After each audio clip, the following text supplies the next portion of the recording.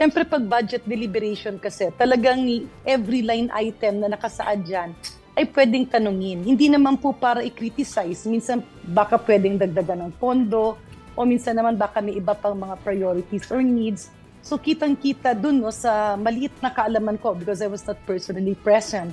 Pero kung tingnan mo yung mga videos, tila before pa naman nagsimula ang uh, briefing, ay parang uh, prejudged na rin ni Vice President Sara, si Senator Risa, baka merong mga nakaraan na, o, may, or baka may mga bumulong ulit at yung mga bumulong na yon ay medyo iba yung inintriga kasi di ba na-mention niya na o oh, ayan, yung next move baka mamaya eh, ipalipat or pabawasan yung pondo. So, um, I believe what should be done um, as public officials as we are, uh, when we proceed with budget deliberation, it should be with a fresh and clean mind. Or kung meron mga, mga hindi pagkakaintindihan, ay pag-usapan ng maigi. Kasi tama naman yung tanong because that's part of the work of a legislator.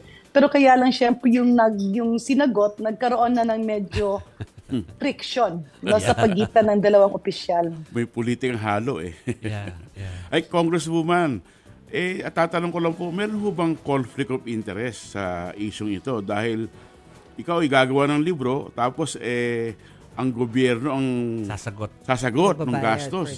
Mm. Di ba? Well, depende po kasi yon. Uh, kunyari, sinulat yung libro, tapos wala kang bayad, parang voluntary na ginawa mo.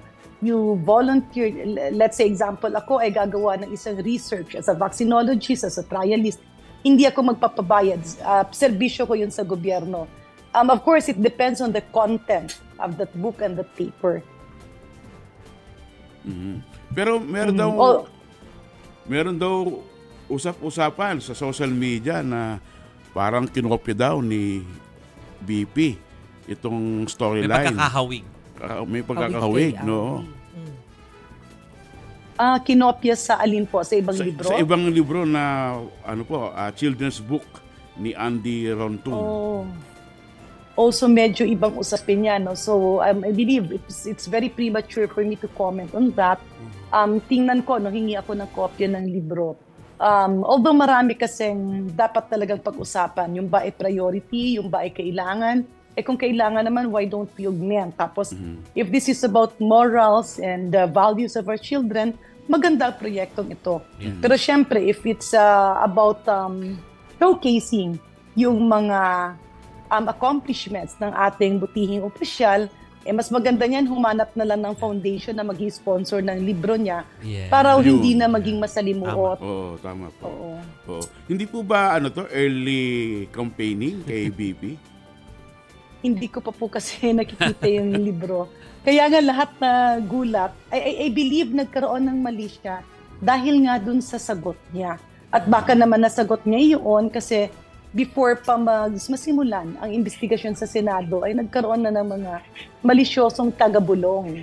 Yeah. Kaya part kasi talaga ng challenge no, ng pagiging isang leader or opisyal ng gobyerno ay yung resilience mo in deciphering uh, intrigues versus facts para medyo hindi maapektuhan yung uh, ating trabaho. Yeah. Congresswoman, uh, so sa Tuesday, uh, 27, Mm-mm. ang uh, ang uh, schedule ng uh, Office of the Vice President na magpresenta ng kanilang budget, budget. sa inyo. Upo ba kayo doon, Congresswoman? Kasama well, kayo sa upo? A, mm. one of the Vice Chair of the Committee on Appropriations, and nandoon naman po ako, no? Yeah. Mm. Meron ba kayong gustong specifically malaman from from the OVP uh, pagdating sa budget nila for for the coming year?